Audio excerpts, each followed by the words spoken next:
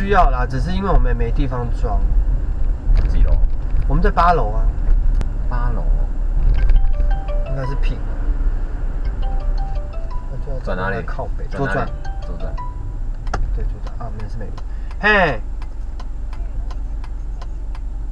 不用啦，我去搞，我去找你拿就，他停在对面，我走过去拿就好了。你小朋友那样子不用再下来了啦，我上去就好了啦。好啦好了，你哦好啊，你在对，你在，你就在在你们家对面那个就好了。然后我们我。还好啦，我腿长走很快啊。那你等我一下，我们快到，快到了，好，好，拜拜。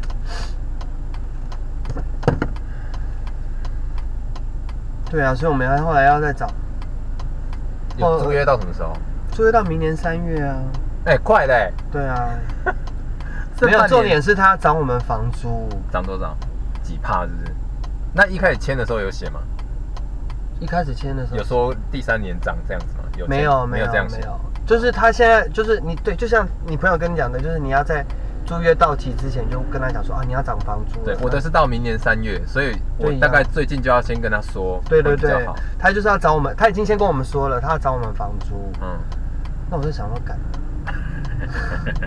没有，他等一下说，哎，现在疫情，拜托不要这样。我有跟他讲了，然后他就说，他说我们也很难过啊，那。那人家就是表明就是要涨你了，对不对？然后这边右转，那边直接右转对，这边直接右转，因为这边是闪黄灯，所以可以直接右转。没有啦，是我们走这边就不用走，不用红绿灯这样子。而且现在，哎，拜托，你看现在疫情那么严重，可是妈的，随随便便的一间店也是房租也是贵的要死，干他妈不降就是不降。等下前面左转，第一个第一条吗？对。哎，没有，就是现在目前大家在转的这一条。妈不降就是不降哎，就是我懂了。房子其实是最没有那种物价的问题耶。房子真的是啊，不动产啊。对啊，就是虽然说利率有变高了，再再过十几二十年，房子也是只会涨啊，不会不会降的，市场上就是这样。然后等下前面右转。